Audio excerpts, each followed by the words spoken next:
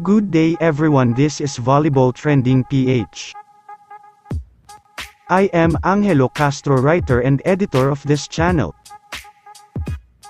Players na hindi maglalaro ngayong PVL Open Conference 2021.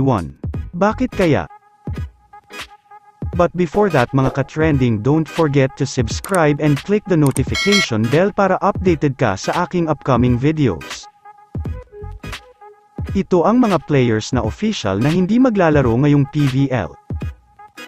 Number 1. Michelle Morente. Hindi siya maglalaro ngayong PVL Open Conference 2021 kaya malaking kawalan ito para sa F2 Logistics.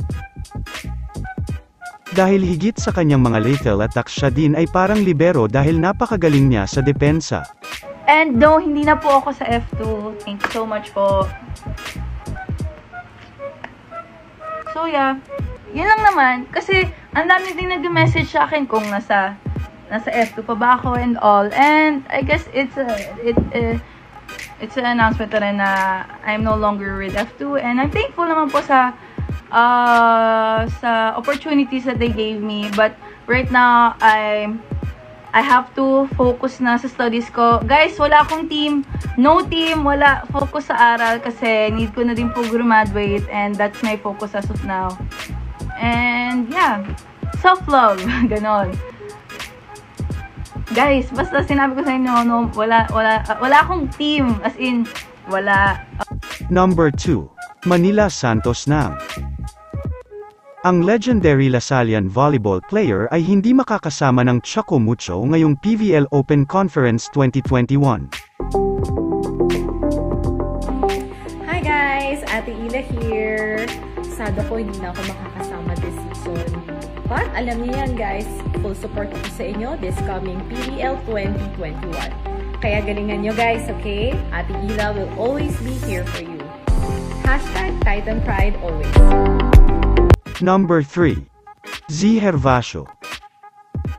Siya ay nagretiro na sa indoor volleyball dahil siya ay kinuha bilang head volleyball program ng FEU at sabi niya rin na siya ay magfo-focus sa Beach Volleyball Republic. Si Hervasio ay parte ng beach volleyball national team na nanalo ng bronze medal noong 30th South Asian Games. I'm not closing my doors just yet, but now, the focus is just beach, sabi ni Hervasio. Ito naman ang mga players na hindi pa sigurado kung sila ba ay maglalaro. Del Palo Mata Si Del Palo Mata ay isa sa mga pinakamagagaling na middle blocker sa ating bansa. Siya ay 6-footer at sabi-sabi sa social media na siya daw ay nag-back out at sinasabi din na siya ay magiging import sa Japan V-League. Pero wala pang official statement kung siya ba ay maglalaro ngayong PVL Open Conference 2021.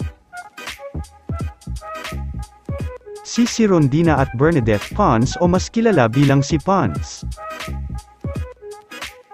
Ang si Pons ay halos laging magkasama sa commercial leagues mapa indoor or beach volleyball man ito. Ang dalawang ito ay parang hindi maglalaro sa indoor volleyball dahil sila ay naka-assign para sa beach volleyball team ng Creamline. Ang duwong ito ay isa sa mga pinakamagagaling rin na spikers sa ating bansa kaya sila ay matatawag kong superstars. Thanks for watching and supporting this channel. Don't forget to subscribe and click the notification bell para updated ka sa mga videos na i-upload ko.